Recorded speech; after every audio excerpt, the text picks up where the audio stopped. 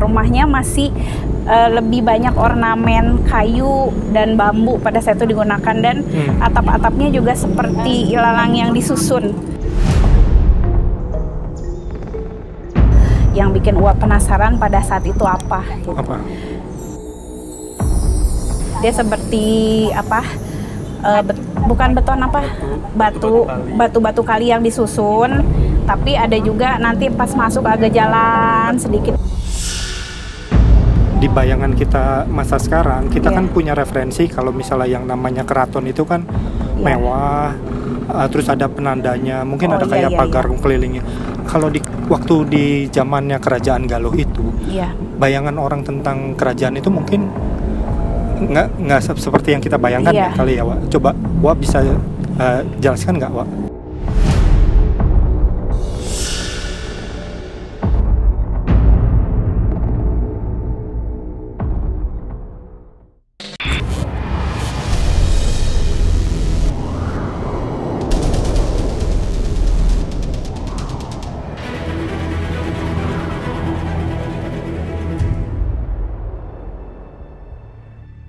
Assalamualaikum warahmatullahi wabarakatuh. Waalaikumsalam warahmatullahi Kembali lagi bersama kami di Time Travel. Nah, Sobat Time Travel, hari ini kita kedatangan bintang tamu. Nah, mungkin Sobat Time Travel yang udah pernah lihat episode sebelumnya, kalian sudah tahu dengan uh, Wadewi ya. Hmm. Nah, kali ini kita akan berkolaborasi lagi dengan Wadewi untuk bicara tentang uh, kisah uh, kerajaan Galuh. Nah, Sobat Time Travel, Alif, uh, Wadewi. Aku mengantar sedikit untuk uh, episode kali ini.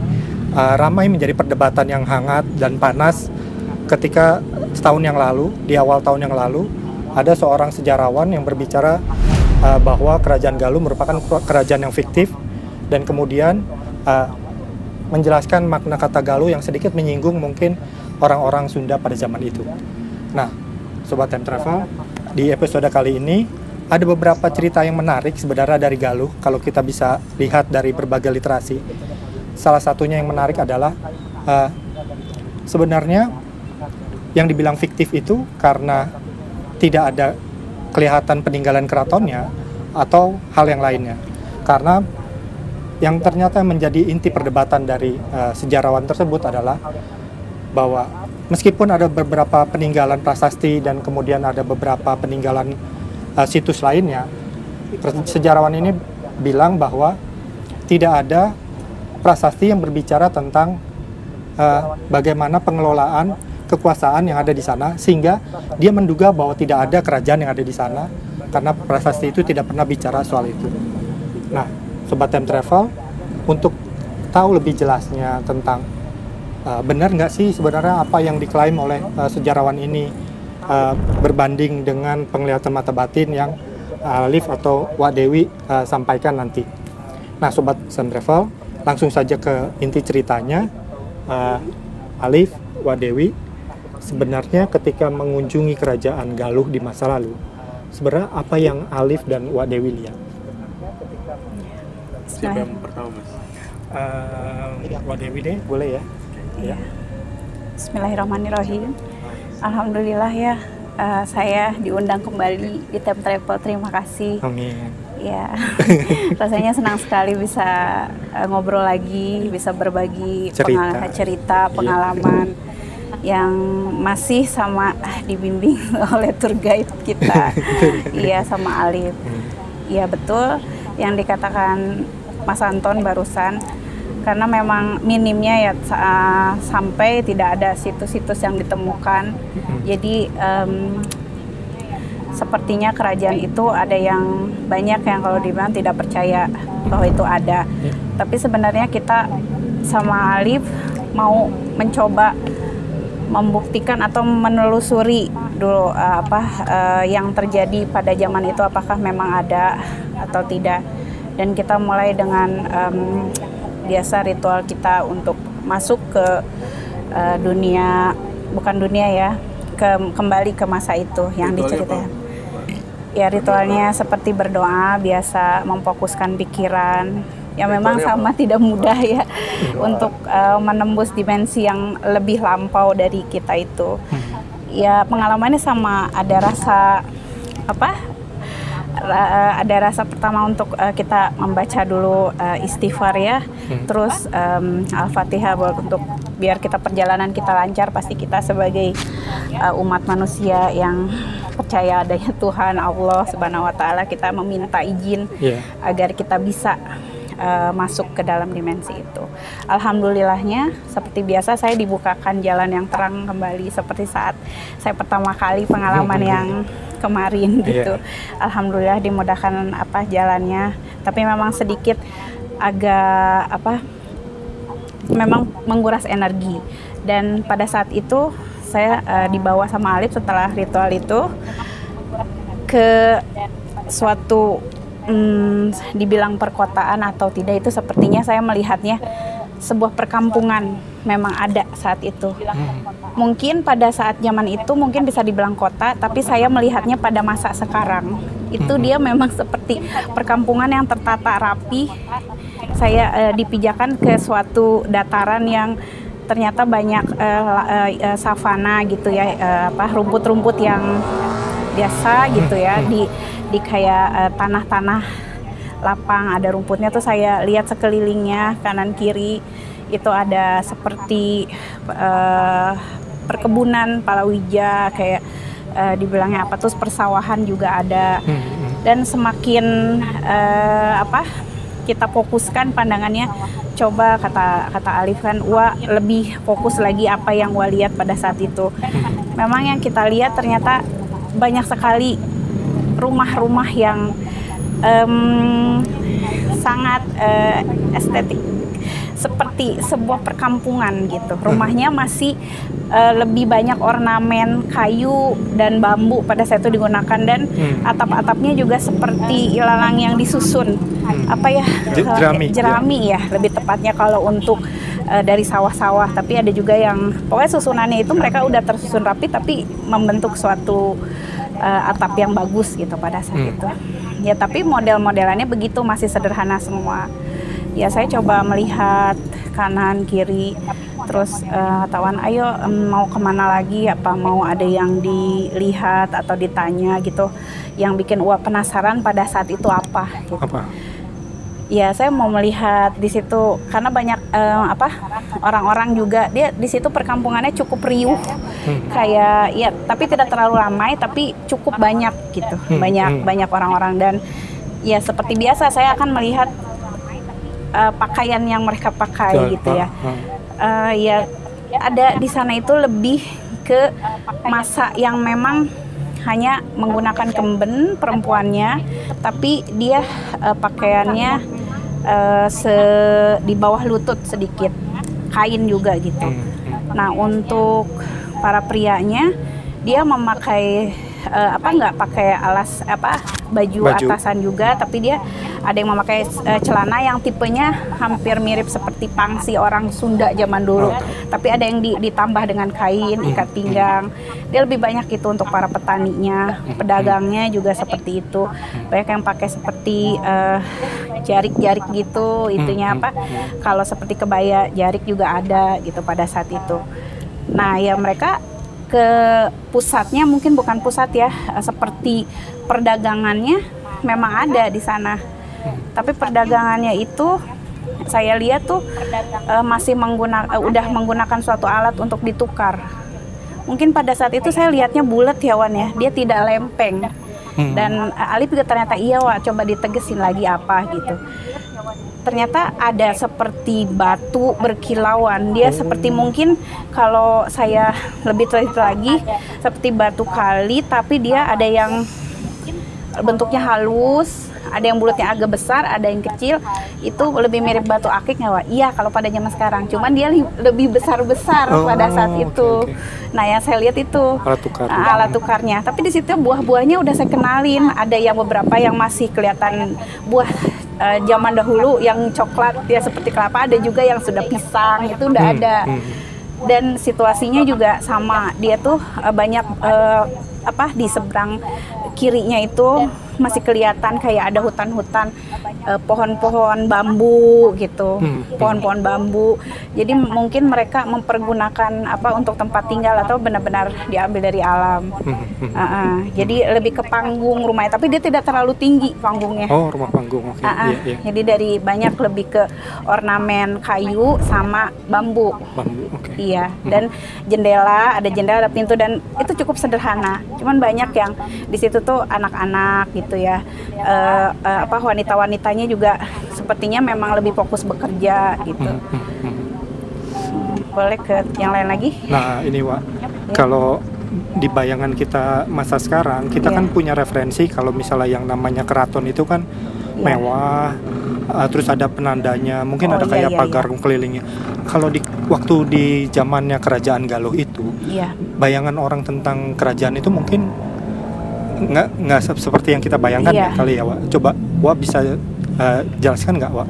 Eh, ya, insya Allah ya mudah-mudahan karena saya juga berpandangan pada saat itu masih ada bukan ragu ya karena ada sedikit samarnya makanya saya tetap eh, bertanya Wan benar nggak yang Wah lihat ini eh iya ini maaf ini em, sep- sama gitu pandangannya seperti Alif yang Ah, Alif ah, lihat gitu ah. kan ternyata memang em, itu kan kita tadi belum masuk ke keratonnya eh, ke ada jadi di situ tuh terbagi ada keraton, ada yang namanya istana.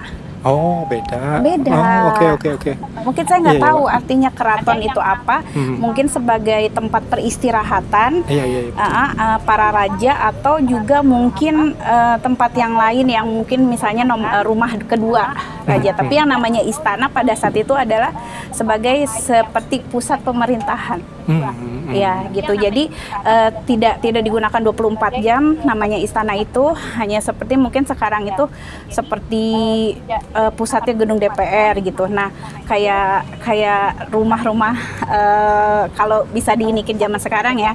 Misalnya di Cikeas atau apa. Nah, itu tempat peristirahat eh, presiden kalau saat waktu itu kan raja. Memang pada saat itu saya eh, saya em, berdefinisi memang kerajaan. Kerajaan. Iya, oke. jadi Hmm. tidak seperti yang pada zaman dahulu saya masih masih ngambang itu apa gitu sistemnya. Tapi ini memang kerajaan. Kerajaan, oke. Dan eh, yang tadi saya lihat itu kan dia rumah-rumah para penduduk ya.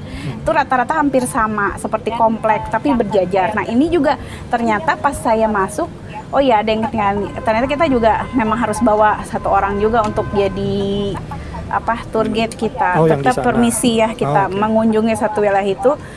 Alif tetap eh, wah kita harus permisi dulu Hmm. ke apa namanya yang punya wilayah sini dan yang tahu. Jadi kita jangan masuk ke tempat orang nggak salam Ah, nggak iya, apa langsung ngelihat gitu kita kurang sopan gitu. Akhirnya wah coba eh, apa eh, dekati satu orang siapa yang bisa wah dekati saat itu. Jujur Mas, eh, kalau saya kan orangnya memang kurang sedikit ini ya eh, apa namanya cepet gitu untuk eh, bisa berkomunikasi sama mereka. Tapi memang saat itu memang kita harus bisa gitu, harus bisa em, permisi dulu dan nah akhirnya orang itu mm, bapak-bapak ya dengan pakaian yang lebih eh, rapih lah, lebih tertutup. Eh, dia mungkin memang eh, yang ada eh, yang punya kampung atau yang yang ditetuakan di kampung itu.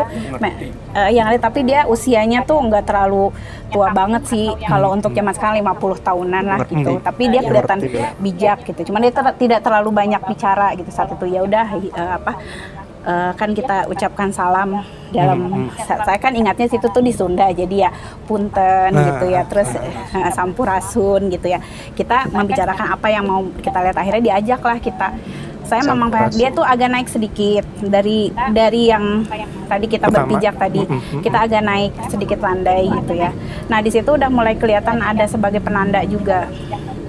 Dia seperti apa bet- bukan beton apa? Batu. Batu batu. kali. Yang disusun.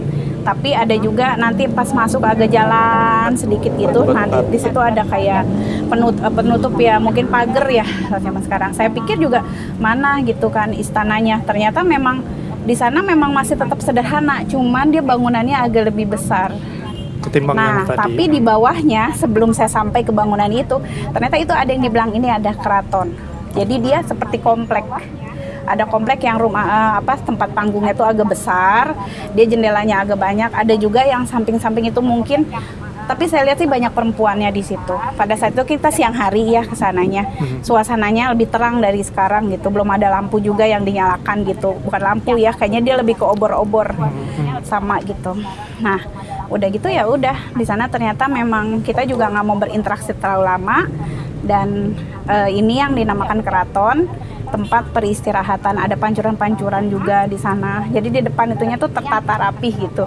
Uh, uh, ada sebuah uh, ada depannya ada pancuran ada juga pusatnya yang tempat air okay. seperti kendi dibuat gitu. Hmm. udah pas kita naik lagi ke atas itu ada seperti bangunan tapi masih ornamennya kayu sama seperti itu.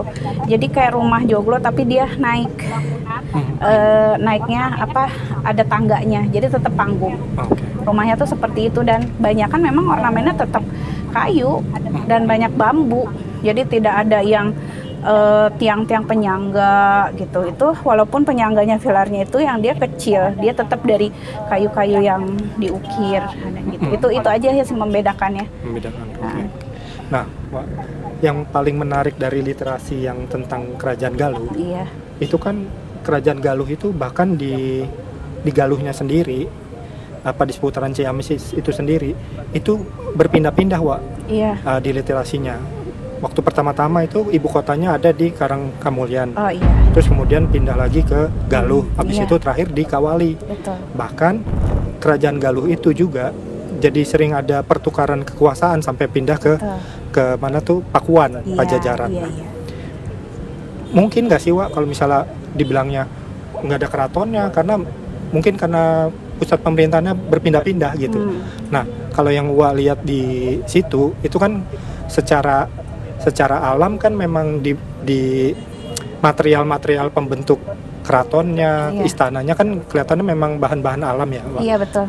Nah, menurut Wa ada nggak kemungkinan kalau misalnya ternyata mereka salah meneliti di tempat yang berbeda gitulah istilahnya. Jadi nggak pernah ketemu istana iya, iya. Uh, kerajaan Galuh. Ya, nah itu dia Mas. Ternyata hmm. si bapak yang membimbing kita itu juga menerangkan gitu. Saya juga uh, mengartikannya cukup rumit gitu ya. Tapi ternyata saya tangkap dan itu dibenarkan juga sama Alif karena Alif sebelumnya sudah pernah ke situ. Jadi okay. uh, eh, udah melihat sebelumnya. Ternyata memang satu pusat pemerintahan itu dia itu punya uh, apa bukan satu aja. Oh. Jadi di tempat lain juga ada jadi itu raja itu memimpin tidak hanya satu wilayah itu aja. Jadi oh, uh, yang seperti Mas saya kan tidak terlalu tahu ya namanya apa kawali apa apa. Oh, iya, Ternyata iya, memang iya. ada beberapa gitu. Jadi oh. kekuasaannya itu banyak. Nah, jadi raja itu pada di saat uh, harus ada di pusat dia akan di pusat. Tapi kalau misalnya ada masalah dia datang. Dan kepemimpinannya juga beda-beda tapi tetap berpusat sama satu itu raja itu. Jadi banyak gitu mereka mempunyai uh, banyak kerajaan memang benar di wilayah sini di wilayah jadi terbagi beberapa. Hmm. itu yang dimaksud.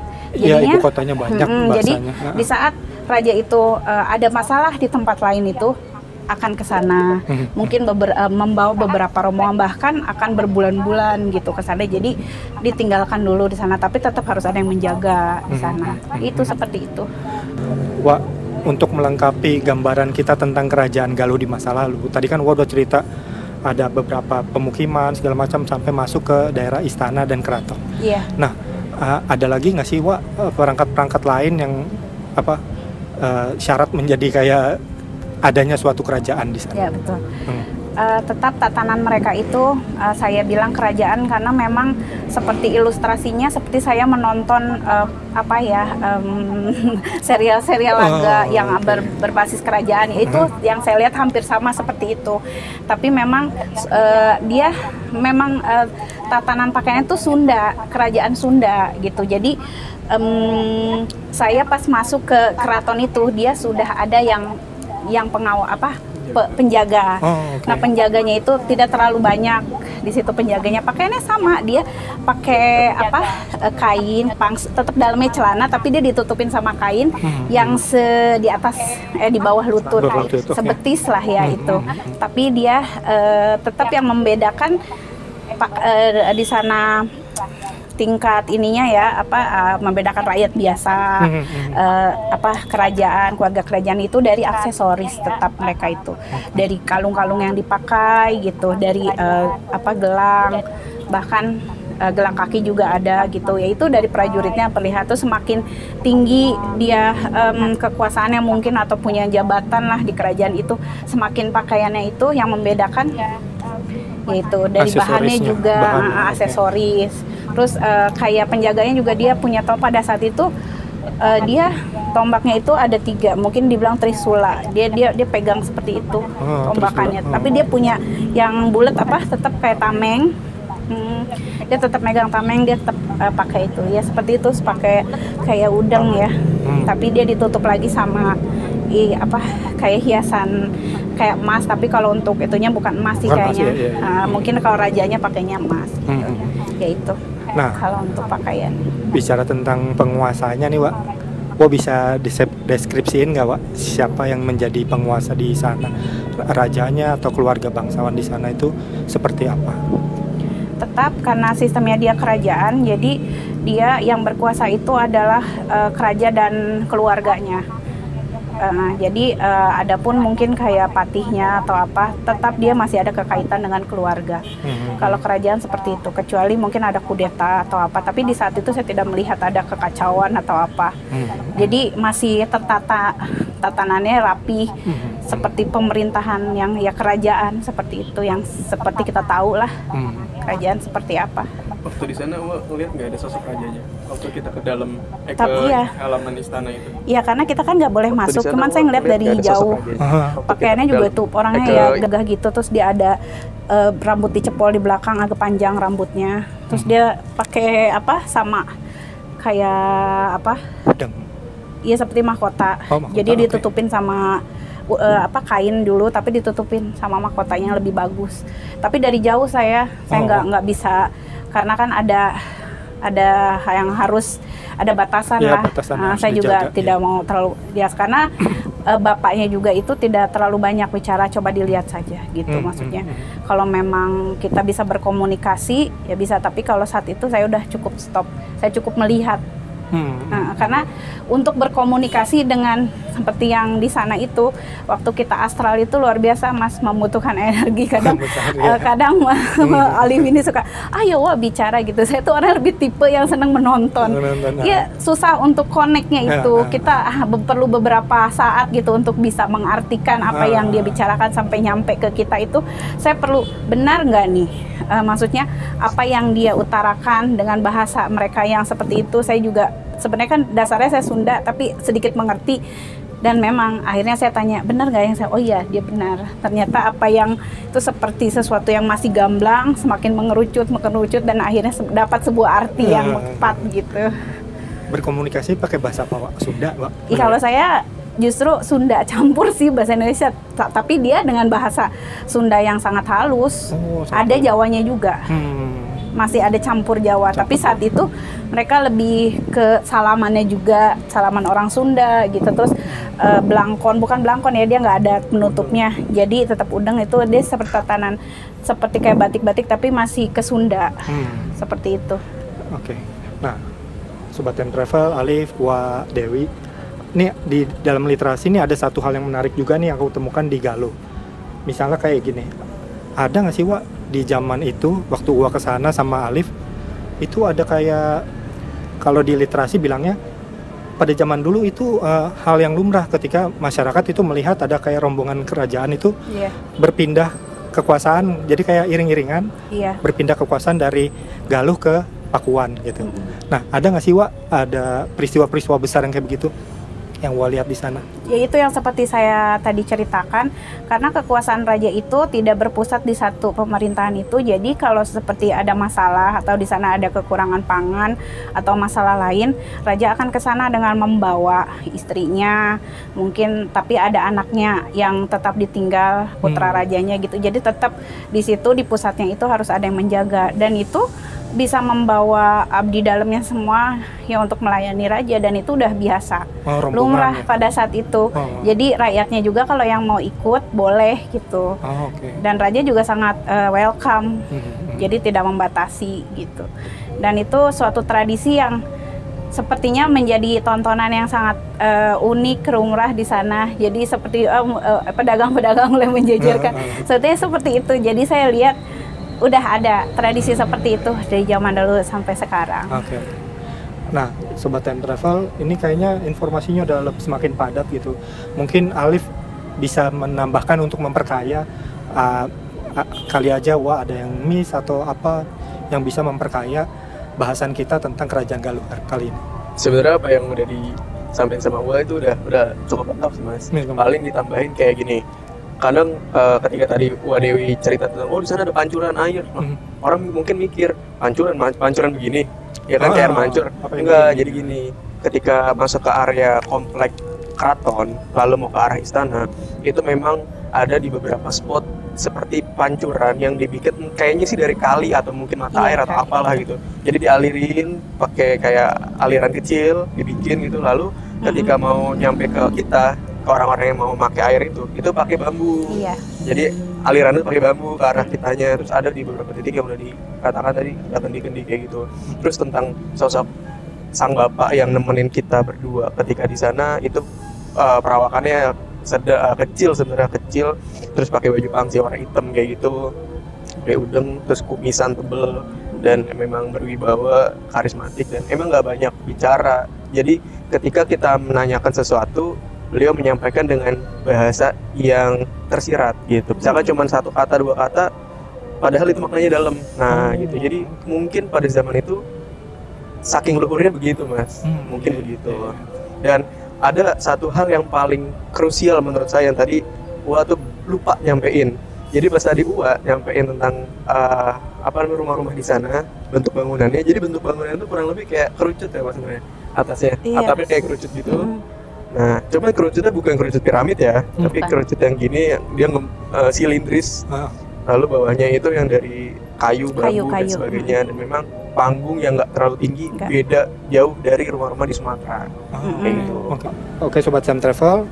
Uh, tadi apa yang udah disampaikan Ali, uh, udah disampaikan oleh Uwa Dewi tentang Kerajaan Galuh, mungkin bisa menambah apakah sanah baru tentang informasi Kerajaan Galuh. Uh, Uh, semoga ini memberi satu pandangan baru yang mungkin bisa diteliti lebih lanjut di kemudian hari oleh orang dari berbagai keilmuan. Nah, kita akan lanjut nanti uh, di episode yang lain tentang kerajaan Sunda juga, tapi uh, kerajaan Pakuan Pajajaran. Nah, sobat time travel, tetap like, share, comment, and subscribe untuk terhubung dengan video-video terbaru dari kita. Sampai bertemu lagi di episode selanjutnya. Wassalamualaikum warahmatullahi wabarakatuh.